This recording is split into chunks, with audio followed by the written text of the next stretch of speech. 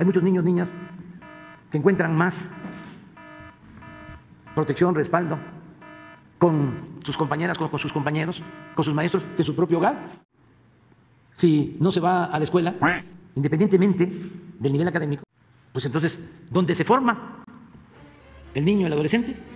En la calle. ¿Quién es el maestro? El jefe de la pandilla, en la calle.